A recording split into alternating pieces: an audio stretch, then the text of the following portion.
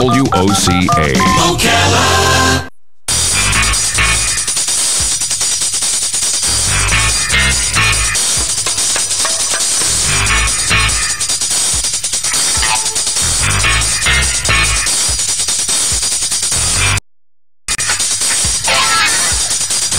Twenty-five minutes before eleven o'clock. It is August fifth, two thousand fifteen. I don't really say the date on every segment, but on John Fuller's segment, I do because he is an attorney, and that means he's in the courtroom a lot. And if you're listening on uh, August fifth, did I say October? August. August 5th. What did I say before?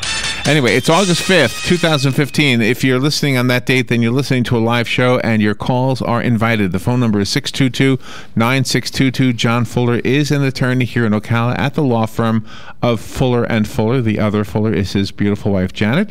And uh, anything goes if you have a question about anything, and specifically the, the areas of law that John is a specialist in. How do we know? Oh, how do we know who, uh, which lawyers are specialists at which things? Well, the Florida Bar has defined that. It's been a real gray area, and it's been an area of uh, some abuse where people call themselves specialists.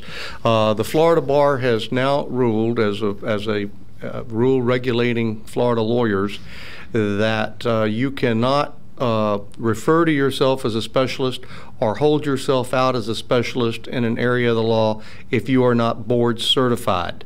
Uh, Well, that's a a good idea. yes, I I think so, because to be board certified, you have to take a very grueling uh, examination. You have to have, have practiced substantially. You have to have tried a substantial number of ju- jury trials. I am pleased and, ha- and proud of having been board certified by the Florida Bar uh, since uh, it, first started. Uh, I think I was in the second class, uh, but I've been board certified since 1985 as a civil trial Wow. lawyer. Wow. I later went back and, and became board certified by the National Board of Trial Advocacies in, in civil trial. And also, I'm board certified by the Florida Bar in business and commercial litigation. So I can, can say appropriately that, that I specialize in those areas. So if any of our listeners are in an automobile accident, uh, or they have a contract dispute or a corporate dispute. Uh, those all fall in the area of civil trial or business commercial litigation. Uh, that's what I do. Uh, my wife, Janet Fuller, who was a registered nurse at Shands for seven years before becoming a lawyer about 25 years ago, uh, Janet focuses her practice on doing exclusively uh, Social Security disability, but she is not board certified, so we don't say she, quote, specializes, but she does that. Uh, 95% of her practice is dedicated to handling uh, people who have are disabled and have been turned down by Social Security. Uh, she tried a case yesterday in Orlando, and uh, so uh, that's what we do. And uh, that's, you know, I also do uh, some uh, complex, major family law dissolution of marriage cases. That I limit to a small number of major cases because they're very time consuming. They usually involve questions of business and commercial litigation, the division of a family corporation, the valuation of a professional practice, things that we do in business law. So I kind of picked that up, but I intentionally did not choose to go and, and seek board certification in that Uh-huh. because I do not want to do uh, a volume family law business. I respect the people who do. I refer cases weekly to them, and, and some, some lawyers have three and four and five paralegals, and they take a hundred family law cases, and uh, I admire them for that. There, there's certainly people who need that, uh, but, but we do four or five major cases uh, involving complex issues. So I do do a, a, a restricted uh, kind of uh, family law practice. The uh, the rain has uh, caused the authorities in Tallahassee to issue a warning to us citizens of the state uh, to be on the lookout for uh, unlicensed repairmen who may come to our homes to put new roofs on our houses, whatever. when you mention contract disputes, if let's say I didn't do my homework and I did hire somebody who didn't have a license, and now I feel like there's there's a need to take this person to court. But the fact that he wasn't licensed does that have eh, is that going to make it more difficult for an attorney to try my case? Well, here's the problem with that. One of a more practical nature than that. Uh, people who aren't licensed uh, by the, the governmental agency where they're doing business. People who do not have a performance bond uh, for their business. If they cut a hole in your roof accidentally, you know, do they have insurance? Uh, people who, who come out and start doing work without licensing, without uh, insurance, those sort of things if they do, and they're very likely they, they are not well trained, they're not people who have the ability or the knowledge uh, or even the integrity to do the job right, uh, you, your, your chances of recovering money from them is as a is a practical matter very very So, limited wow. because they probably don't have any assets they certainly don't usually pay to carry liability insurance and we we saw a lot of that uh, in South Florida and even in this area in 2004 after the state was racked with a number of very severe hurricanes Right, right. uh, and, and houses were damaged, trees were down, uh, people were out of power. Uh, I know we were out of power almost a week one time. Yeah, yeah. A- And it was a very difficult time. And uh, and and uh, the the good licensed contractors who had all the wherewithal. They were overwhelmed. They couldn't do all the jobs. bet, So a lot of people, you know, painted a sign on the side of their pickup truck and rode around saying, "We fix roofs."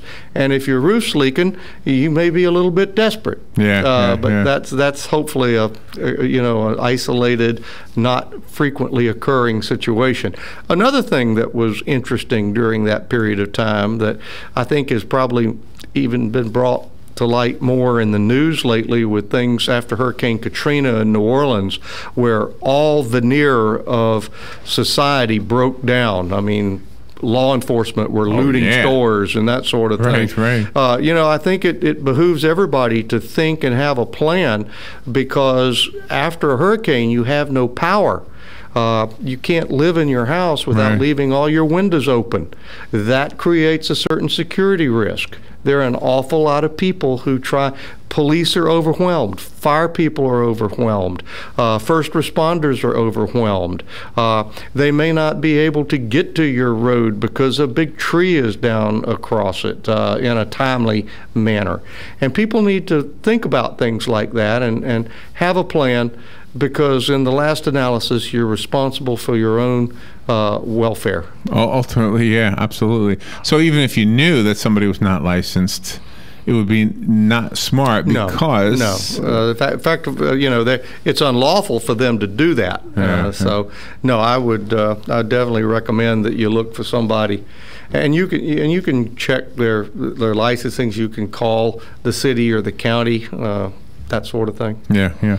Uh, the phone lines are open if you want to call John. The number is 622 9622. Uh, just about up to the middle point break. So uh, if you call right now, uh, we'll squeeze as much as, as in as we can. Otherwise, you might have to wait through the break to hear the rest of the answer. Um, but today is August 5th. Hard to believe it's the 5th day of August already. It really is. It uh, it's moving uh, very rapidly. I know uh, uh, school teachers are planning to go back to work. Uh, Right, they're, right. they're actually, I believe, uh, and I don't keep up with this uh, now that we don't have a, a youngster in in uh, school, high Right, school or right, grade school. right. But I think they're starting early this year, uh, so they'll finish with finals before Christmas. So it's it's not far off. What is the sport your son does? Is it baseball? Baseball. Baseball. Yes, he's Uh-huh. played this whole summer in the uh, Shenandoah Valley League in Virginia. And if you've never been to that part of the country, it is a beautiful area. I'd never been, and it's absolutely Do you think he's going to be a pro? Oh golly, you know that's every every kid's dream. Yeah, he's yeah. working hard at it, and, and he has some talent. But uh, one tenth, basically about one one tenth of one percent of all the kids that play baseball go to college on a baseball scholarship. So we're very grateful that Kevin has achieved. So he's that already by, beat the odds. by being a scholarship uh, Yeah. uh, college baseball player. Uh, going to the pros is a fraction of that one tenth of one percent. so it, uh, you know, I know that's his dream, but uh, fortunately he has a plan B with his education. Is attorney? Is he? no, no, Kevin, since he was a youngster and, and saw us practicing and in trials and that sort of stuff, his, his pat answer was, I don't know what I want to be, but I know I don't want to be a lawyer. and, and after the break, we'll, we'll talk a little bit about that maybe. All right, well, we'll take that break right now. And again, the phone line is open if you want to call John. The number is 622 9622. Just for your information, we are broadcasting uh, this show on August 5th. So if that's the same date on your calendar, then you can call in right now, 622 9622, and we'll be right back.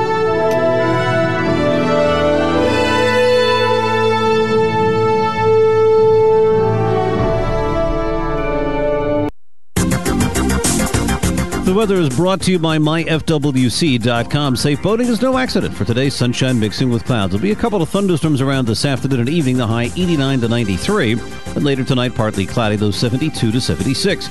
Tomorrow, sunshine mixing with clouds. Watch out for an afternoon thunderstorm or two, high 89 to 93. Friday, partly sunny with a shower or thunderstorm around in the afternoon, high 86 to 90. From the Florida Weather Center, I'm meteorologist Joe Lundberg. Ah, ouch. Does pain have you glued to the couch? Yes, unfortunately, it's true that every year we must get older, but that doesn't mean we have to deal with pain in our back, knees, or shoulder. If your muscles and joints are sore, don't worry anymore. Come get acupuncture from me and you'll be pain free. Acupuncture starts as low as $35 at a Better You Healthcare. Call me, Dr. Erica Olstein, at 615 5566. Stop your pain from driving you insane. Got a garden and we've got a show for you called You've Got a Garden with your host, Master Gardener Carol Ann Baldwin. Carol Ann answers your questions about your flowers, your veggies, your grass, your trees, even questions about your bugs. And she's only on WOCA, so don't miss Carol Ann Baldwin and You've Got a Garden each Tuesday from 9 a.m. to 10 a.m. right here on WOCA The Source. Robin, let's try a little plant trivia. Name this nursery. It's a not for profit and it teaches growing and caring for plants to their students. Oh, that's easy. Kenny's Place. Or how about this one? It's a nursery conveniently located between Ocala and Belleview. Again, it's Kenny's Place. Or how about this one? A nursery with a wide variety of just what you need or want at the most reasonable prices. Kenny's Place, of course. Kenny's Place at 7677 Southeast 41st Court. Give them a call at 867 1213. It's a caring place for people and plants. It's Kenny's Place. Gene Powell Pasture Mowing, 352 629 2440. In addition to our pasture mowing service, we also offer fence row spraying. Now is the perfect time to get ahead on weed control for an overall aesthetic appearance. Gene Powell Pasture Mowing, 352 629 2440 or online at powellgene, G E N E, at yahoo.com. We are licensed and insured. Gene Powell Pasture Mowing, 352 629 2440. There's a car accident in this country every five seconds. That's why Allstate thinks it's time for an entirely different kind of car insurance, with features like accident forgiveness and a safe driving bonus. It's called Your Choice Auto, and it's only from Allstate. Are you in good hands? You deserve better. Sign up for Your Choice Auto from Allstate. Call the McDonald Agency today at 622 2333. Features are optional and subject to terms, conditions, and availability. Allstate Insurance, Northbrook, Illinois. We are The Source, WOCA. All right, 11 minutes before 11 o'clock. John Fuller is here. The show is called Legally Yours, and your questions are to be answered if you want to call them in. The number is 622-9622, and it is August 5th, just to repeat the date that you're, you the show that you're listening to is on.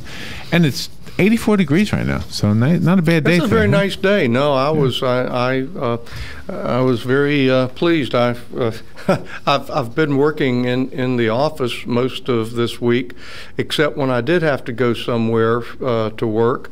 It was always pouring down rain when I had to make Right, it from the front door to the car. so today is a welcome change, I tell you. Uh, but no, I was talking before the break, and I'll just touch on this briefly. Uh, our, our son said, I know I don't want to be a lawyer. Well, right now, the practice of law is so different than when I started uh, 42 years ago. Uh, like I, I was saying, in 1979, there were 23,000 lawyers in the state of Florida. I started in 73. I don't have the number for that year, but I just heard this one at the Florida Bar Convention about a month ago. Now there's 104,000 lawyers in Florida. Many of them are graduating from law schools that have a profit model. They charge very high fees for tuition. Uh, you go to that law school. Uh, many people get student loans and grants, so the law school Oh, gets yeah, the right, law school right. gets paid. It's making a, a, a I, I assume uh, a, a revenue because it's continuing Sure, to exist. sure, yeah. There's about 60% unemployment uh, of the graduates, uh, and they usually come out owing over $100,000 in student loans and debts, and average starting salaries uh, for those 40% that do get, or a number of those that do get jobs, uh, is, is not significant. So it, it's, uh, you know, I think it's a, something that needs to be looked at, and I, I read in the, in the paper this morning that the president of the Florida Bar uh, the new president, who was just sworn in about a month ago, uh, is recommending that Florida open up and have uh, open reciprocity with lawyers from other states. Right, that was in the without, news. Without, yeah. Uh, without the necessity of, of coming to Florida and passing the, uh, the bar exam. I remember that. Uh, I, I think that's, I, I'm,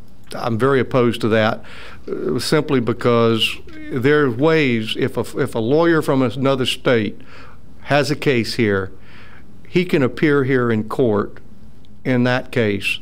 It's called pro hac vice. It means for this matter, and uh, and he can uh, and and he can get admitted to handle that case. I've tried cases in Georgia, uh, and and you know th- that's what you do, and uh, it you know there's a there's a way for it.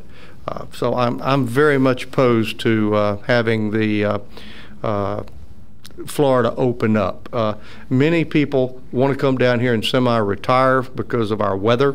They want to come down from the north. Right, They right. want to hang out their shingle and, and practice part-time. And with 104,000 licensed lawyers already in Florida, there's an economic overlay of how successful those lawyers can be.